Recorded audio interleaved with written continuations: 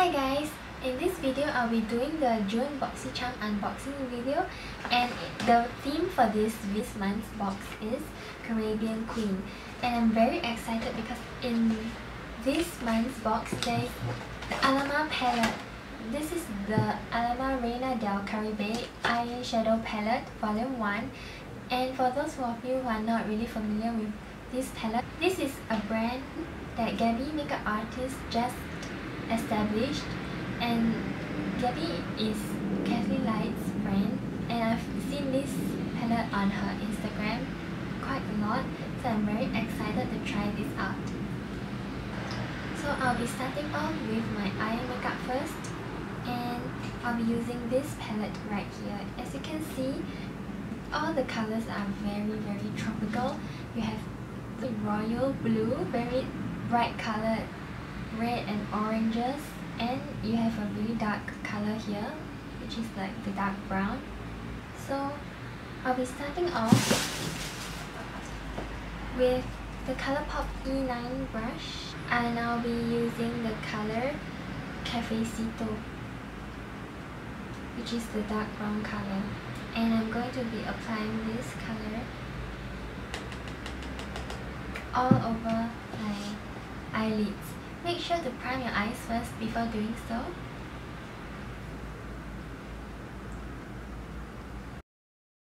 I'm just buffing in a light wash of color all over the lid because I'm still going to apply other colors on top and I don't want the base to be too dark.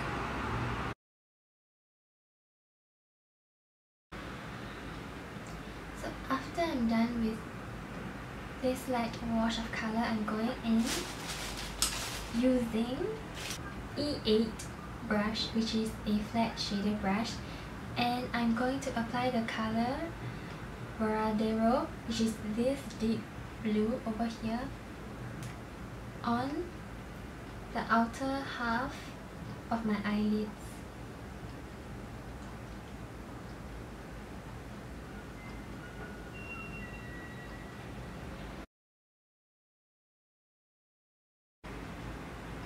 My first impression of this shade is that it is very pigmented but it does it goes on a little patchy.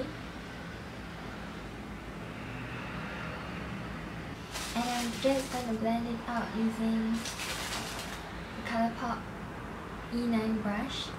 I'm just gonna blend out the edges and I'm going to pop more color onto the outer half of the eyelid just patting it on and building up the color. I'm going to do the same for the other eye as well, as well focusing it on the outer half of the eyelids.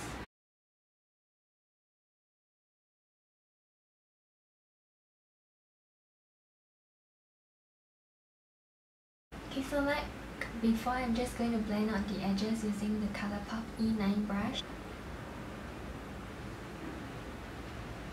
Sorry I forgot to zoom you in. Alright, so this is how it looks like on my eyes. And now I'm going to go using a flat shader brush. I'm going to be applying the color Celia, which is like a sea foam green with a little hint of blue in it in the inner half of my eyelids.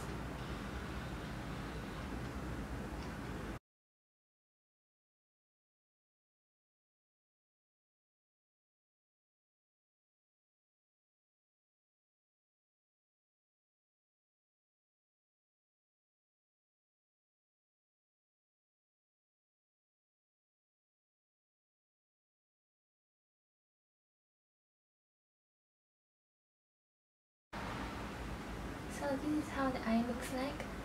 And I'm going to go in with the blending brush and just blend out the edges. I'm going to clean up the fallouts and continue with the eyes later after I do the face. Now for the face because there are no face products in this month's box I'm going to be using my own foundation and I'm using the Makeup Revolution foundation stick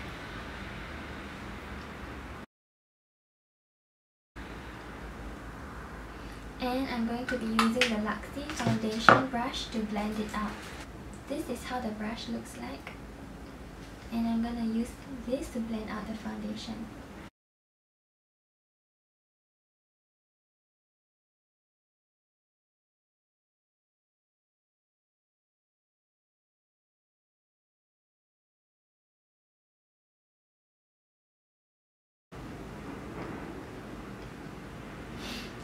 Um what I have my thoughts on my thoughts on this brush is that it's not a bad brush but I just prefer to either use my beauty blender or a buffing brush to, to blend out the foundation on my face.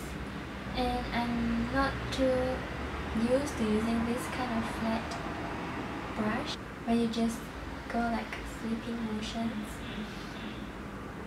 I find that I'm not too used to this brush but it's still a good brush. It blended out my foundation nicely. Now I'm going to do the rest of my face and I'll be using the highlighter brush from Luxie brush. This is the 522 tapered highlighter brush and I'll be putting my Natasha Denona base and glow powder using this brush. I'm not too used to using this kind of brushes because it seems too thick for highlighter but I'm just gonna try going with it.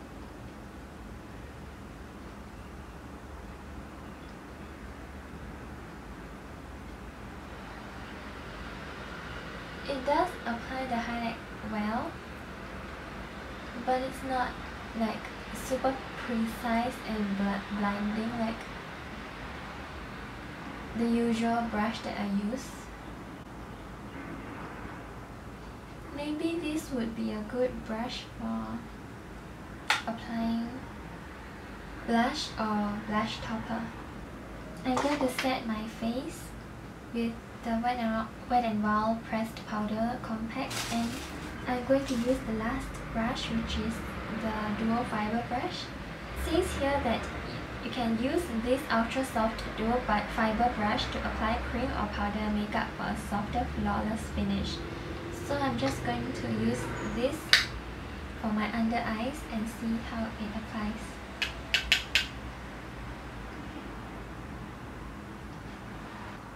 Honestly, I feel like this picks up a lot of product as compared to what I would like for my under eye when I'm using a fluffy brush. Before to set the rest of my face, I am going to be using the e.l.f. complexion brush.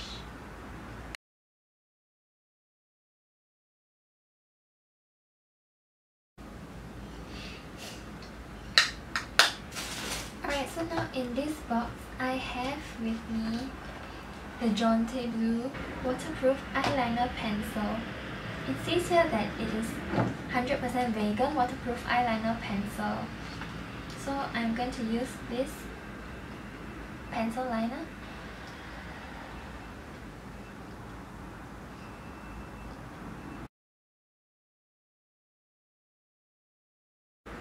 Honestly, I'm not too used to this kind of pencil because it's not creamy.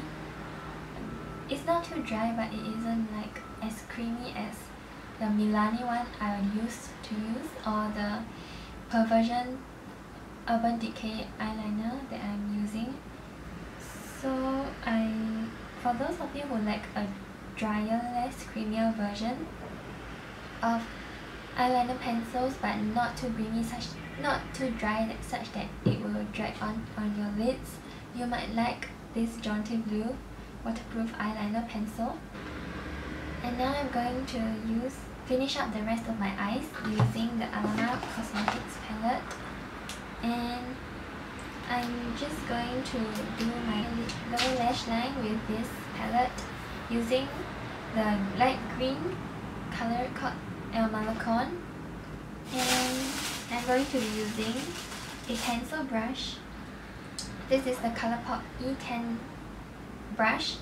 And I'm going to run this along my lower lash line.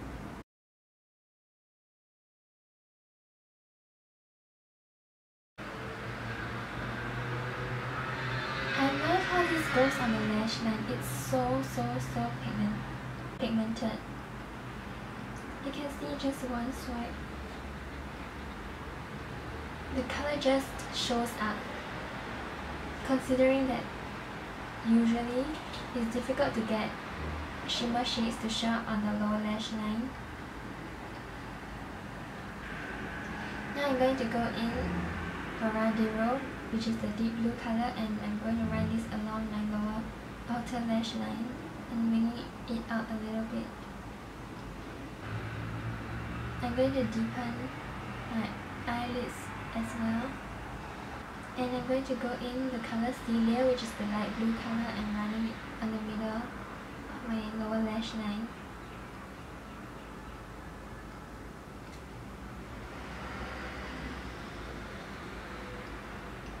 And lastly, I'm going to use the color La Costa, which is this pinkish beige right here, shimmery color. And I'm going to use this on my inner corners.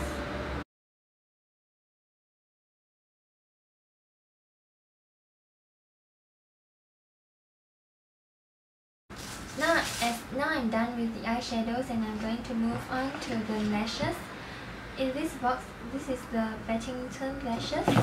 This is the Battington Monroe Silk lashes.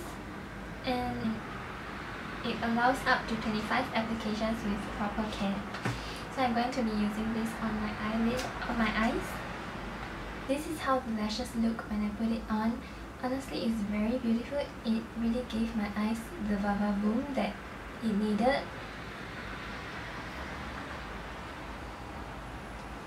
but I it says it says here on the card that this lashes is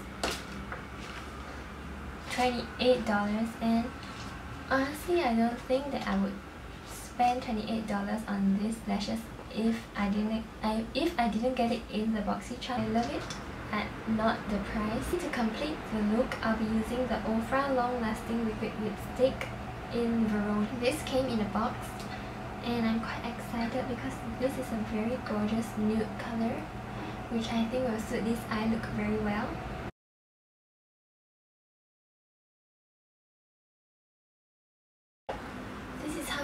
Like. It's really a gorgeous nude with brown undertones to it. Lastly in the box, which I did not manage to use, there is the Sol de Janeiro Brazilian Bum Bum Cream this BoxyCharm is unboxed and completed and I'm very pleased with this month's box. I'll be counting the total value.